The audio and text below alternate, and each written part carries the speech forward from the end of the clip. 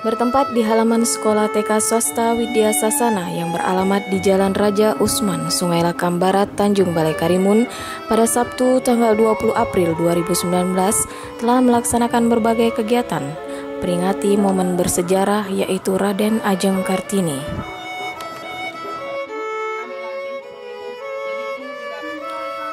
Sebanyak 37 para murid siswa dan siswi TK Widya Sasana bersemangat dengan menggunakan pakaian adat istiadat yang ada di Indonesia yang turut didampingi oleh para orang tuanya.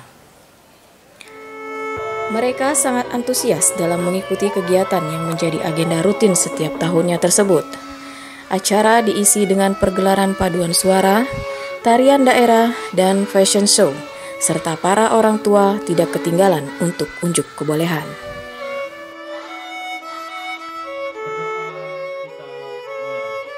Di sela-sela acara, salah satu siswi TK yang bercita-cita ingin menjadi pramugari bernama Aisyah mengatakan sangat senang dapat mengikuti kegiatan peringatan Hari Kartini dengan mengenakan pakaian adat Jawa.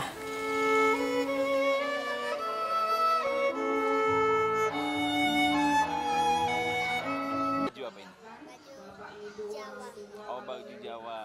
Aisyah pramugari. Oh mau jadi pramugari. Aisyah mau jadi pramugari. Belajar, berdoa, belajar, Jadi konsep acara kita pada hari ini adalah dengan tema Karnaval Kartini Lantik.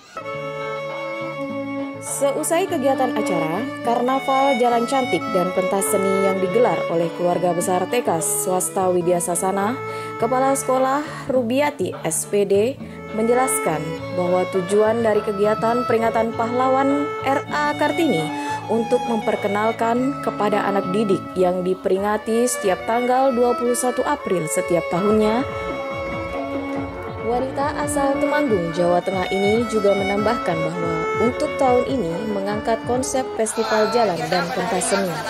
karnaval dan pentas seni dalam rangka peringatan Hari Kartini.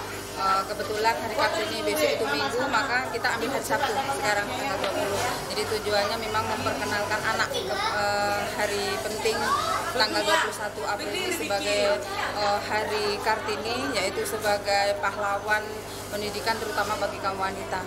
Jadi kita mengambil eh, tahun ini tema Kartini kita yang pertama melaksanakan karnaval dulu dengan rute dari sekolah di sekitar sekolah tadi. Jadi kita laksanakan dari jam setengah delapan pas selesai jam sampai satu jam setengah sembilan. Setelah itu baru kita lanjutkan dengan acara pentas seni. Tadi banyak kegiatan yang dilaksanakan dari fashion show, kemudian eh, menari. Di situ juga ada peran serta dari orang tua murid juga menyumbangkan tampilan dalam acara pentas seni tadi. Jadi acara pentas seni tadi merupakan eh, apa kegiatan yang memang sudah kita aktif eh, laksanakan setiap hari Sabtu kita adakan ekstrakurikuler seperti itu.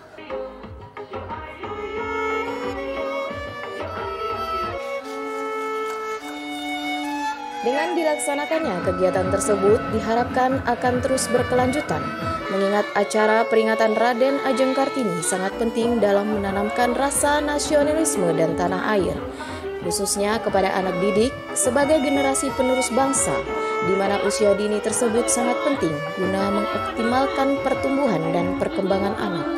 Dari Tanjung Balai Karimun, Kepulauan Riau, Aziz Maulana melaporkan.